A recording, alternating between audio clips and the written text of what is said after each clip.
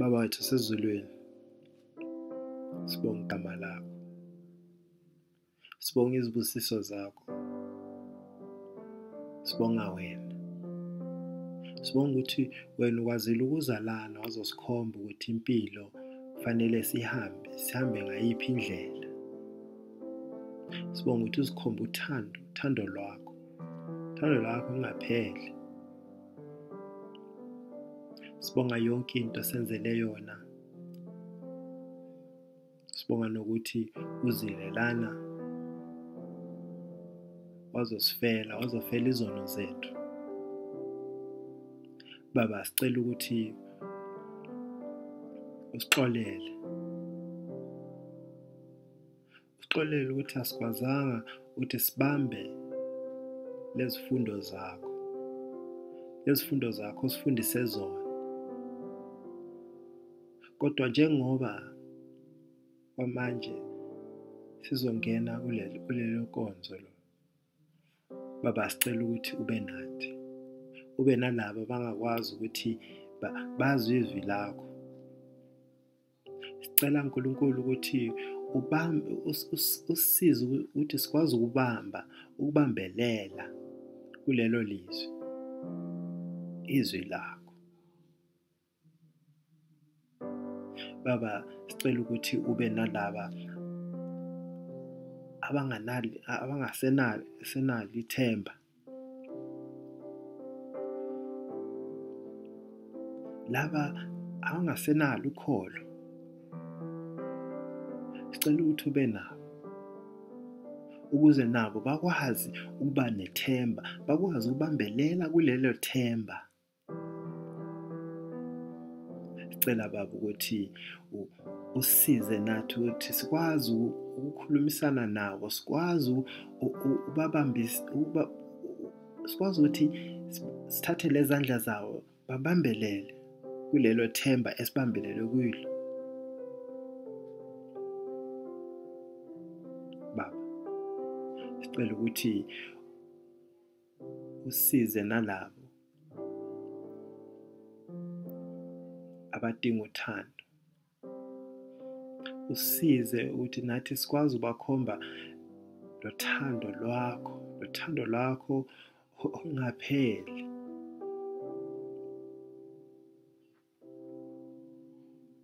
baba sicela ube nengane zethu njengoba zizoqala isikolo zizoqala ukuya ukubuyela esikolweni. Sicela baba ukuthi ube nawo babusise uphinde bavimbe uvimbe le corona ukuthi ingaba ingasi affecti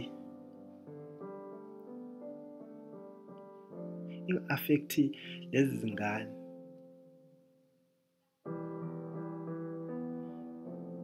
Baba kunezigulwane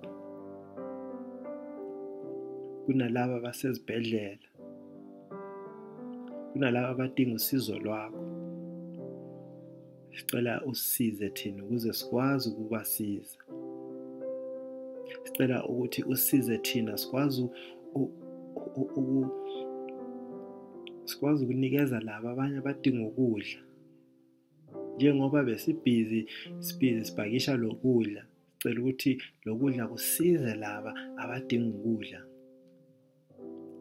Nakhona sikwazi nokuba nikeza lokudla okubuya kuwe. Lokudla okungapheli izwi lakho. Siyakubonga nkosi Jesu. Sibonga ngegama laJesu Kristu. Amen.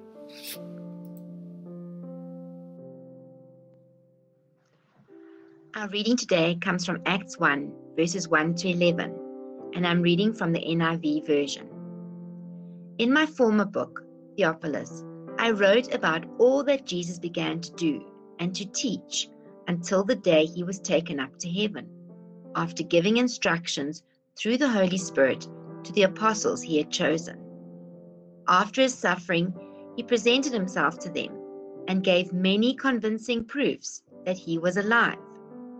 He appeared to them over a period of 40 days and spoke about the kingdom of God. On one occasion, while he was eating with them, he gave them this command Do not leave Jerusalem, but wait for the gift my father promised, which you have heard me speak about. For John baptized with water, but in a few days you will be baptized with the Holy Spirit. Then they gathered around him and asked him, Lord, are you at this time going to restore the kingdom to Israel? He said to them, It is not for you to know the times or dates the Father has set by his own authority, but you will receive power when the Holy Spirit comes on you, and you will be my witnesses in Jerusalem and in all Judea and Samaria and to the ends of the earth. After he said this, he was taken up before their very eyes, and a cloud hid him from their sight. They were looking intently up into the sky as he was going, when suddenly two men dressed in white stood beside them. Men of Galilee, they said, why do you stand here looking into the sky? This same Jesus who has been taken from you into heaven will come back in the same way you have seen him go into heaven. Thanks be to God for his word today. Thank you, Tia, for that wonderful reading. I know we're going to use a couple of different people and languages today, but I'm just really looking forward to spending this time exploring what Ascension Day means to each one of us. So, it's been 40 days since Easter Sunday. Wow, can we even believe that, eh? And yet, those last 40 days have been completely different completely different to any other that I can remember. We've celebrated Easter inside our homes without our friends and our family, without the sunrise service, without going to church in the morning. We've not worshipped together for a very long time. And when we think about 40 days, it hasn't been that long, but it has been a very long time in the history of this country. We haven't been together, friends. We haven't shared communion. We haven't been able to worship. We haven't greeted each other and hugged each other and laughed at each other's jokes. We also haven't heard each other's voices sing as we worship our Lord together and as we pray together. It's been weird, it's been different. And church, for me and for many of us, just being a church, everything has changed. I think also that in the 40 days after Jesus rose, for his disciples and his followers, everything changed for them too. They'd started off as ordinary men and women who needed who heeded the call to follow Jesus and to be his disciples. They'd faithfully followed and learned from Jesus, traveling with him, hearing his preaching and his teaching, witnessing miracles almost daily sometimes, and understanding what it really means to follow Christ and to worship God our Heavenly Father. They had also lost their leader. They had watched him being crucified and dying on the cross at Calvary, knowing all along that he was without sin. I think that on that day they sensed that history would change forever. By the time Ascension Day came, they had mourned and cried, devastated that Jesus was gone. Then they'd witnessed him go again and come and appear after these three days when he had left them, appearing just as he said he would. He spoke to them again, he ate with them again, a very churchy thing to do, and he spent time with those that he loved in those next 40 days after Easter Sunday. And then on Ascension Day, just 40 days after they'd finally got him back, Jesus ascended up into heaven to be seated at the right hand of God. They were amazed. They were sad. They were excited all at once in one moment. Like the disciples of those days, each of us today, 40 days after we celebrated Easter, need to figure out what this all means to us. This is not just a nice feel good story. This is an account of what it means to be a Christ follower. So let's look at where this story speaks to us the most, right here and now. Are you today in a space where you're deciding whether to follow Christ and whether that following Christ will make the difference that you need in your life? Are you still deciding whether to give up on those worldly habits and practices that take up your headspace? Those things that fill your days that might not be of God? Like the early disciples, we are called to follow Jesus and to be all in with this journey. It's not just a Sunday thing, and we've come to realize in the last while that church is not just a Sunday thing. We have transformed our sanctuary from a place of worship and praise and deep spiritual learning to a place of busyness and packing of food to feed the hungry. And not just a few, we have fed hundreds of thousands through our church sanctuary. And every time we go there, it's just that little bit different. We may be not sitting with our friends, but I know that what we are doing right now at the church, food pack for the people that need it, is just as much church as sitting in the pews and listening to a sermon is. So when we decide to follow Jesus, it's not just a Sunday thing, it's an all in thing. If this is where you find yourself today, friends, then please reach out to chat to one of us at the church. Elvis, Jim, myself, and many of the leaders would love to walk alongside you as this journey commences in your life. If you are at this place right now deciding whether being a disciple is what you need to do, I'll urge you to pray earnestly, pray honestly, admit what's holding you back, speak to your Heavenly Father, He wants to hear from you, and then take that first step, friends. Maybe, like the disciples a little later on in their journey who were with Jesus for the preaching and the teaching, maybe you already are a Christ follower. My challenge to you is are you listening every day? Are you learning more and more about the Savior? Are you experiencing the pure joy of living life alongside Jesus Christ?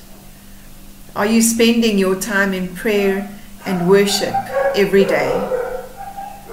Are you feeling closer to Christ than you ever have been? I really hope that this is where many of us will be able to find ourselves, if not today, then soon enough. Friends, if you're feeling to cry, close to Christ right now, then this is what we need to do. This is how we can feel and be when we follow our Savior. But then, as the disciples carried on with their journey, we realized that they lost Jesus. Everything had been going great. They were called, they answered the call, they felt close to Jesus, they were with him every day, they heard him preaching and teaching, and yet there came a time when there was just this absolute sense of loss. Are you feeling like you have lost someone or something? or some environment or some relationship that you're not sure is ever going to come back. For those first three days after Jesus was crucified, the disciples experienced acute loss. Their world had been turned upside down. Their daily life had changed.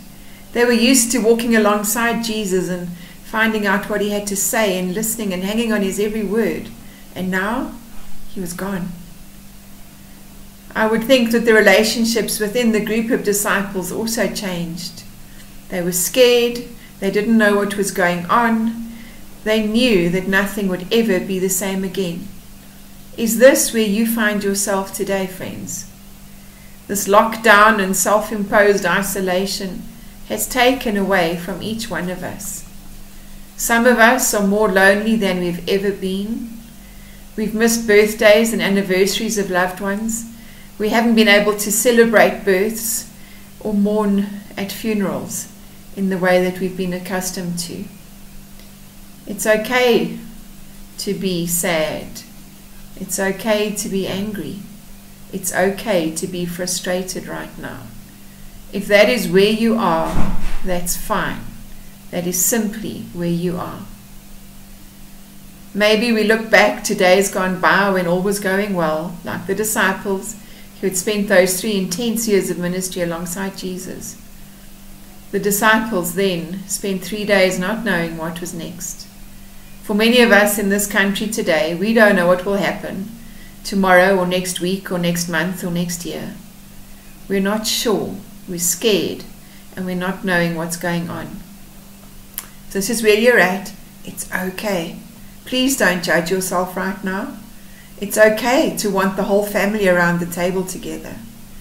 It's okay to want to sit down and have an hour long face to face chat with a friend that you haven't seen in months now. It's okay. Those disciples spent three days not knowing. And sometimes I think we're sitting in that place too. Friends, it's okay to be in that place. My prayer for each one of us today is that, like the disciples, we will begin to emerge from the devastation of change and we'll begin to see Jesus again. We can begin to see Jesus in everyday things. Different everyday things, absolutely. I've never done so much cooking and cleaning and washing and dishes that I have in the last couple of weeks. Different everyday things. But that's the beauty of Jesus. He's still right here with you and with me. At this time, we need to look very carefully for the places and spaces where we can feel safe again. Let's include Jesus as we walk and we talk, as we eat and as we spend time, even if it's with the help of electronics, with those that we love. This is what Jesus did for the 40 days after he rose. After his resurrection, Jesus spent 40 days with his friends and those that he loved.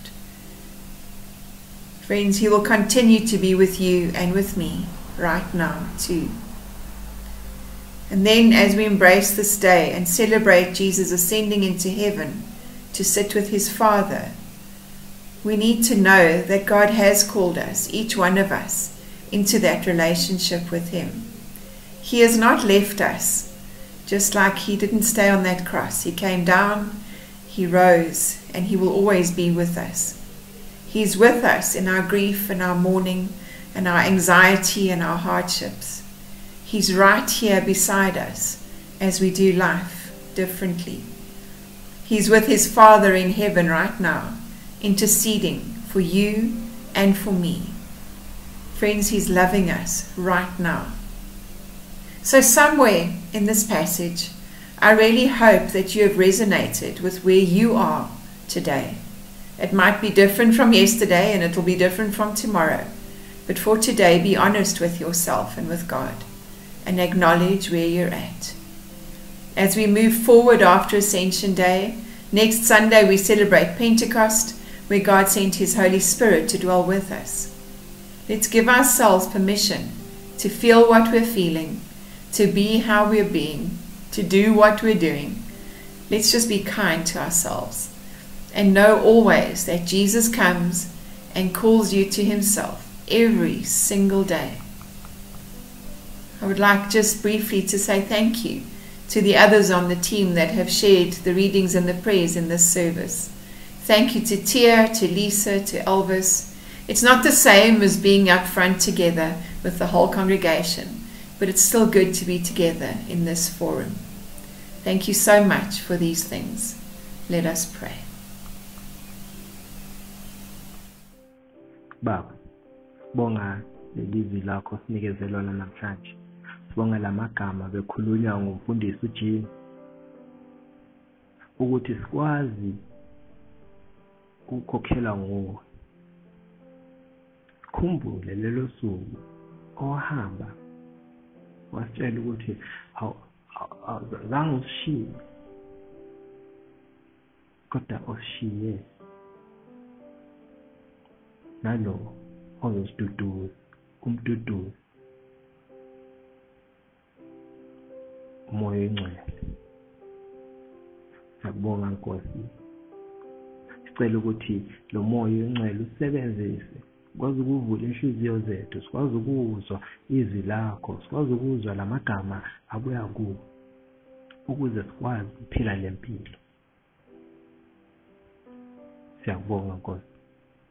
en Icamaigachis Cristo. Amén.